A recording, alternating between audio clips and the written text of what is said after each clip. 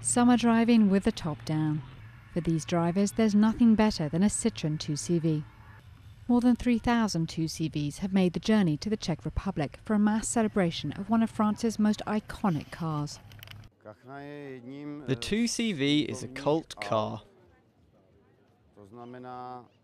It's one of the cars that contributed to the automobile revolution.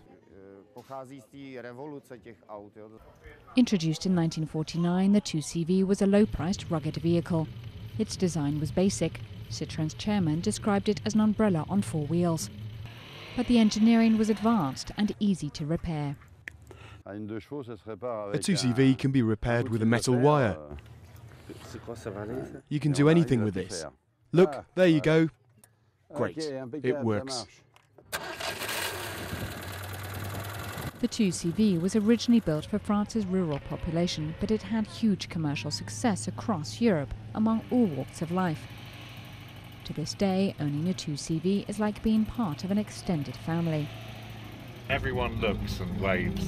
It's a happy car. And a good thing about this car also is people don't know whether you have 10 euros or 10 million euros.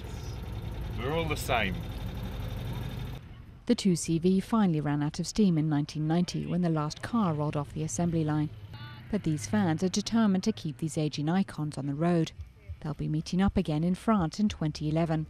Time enough to pass their passion on to the next generation of enthusiasts.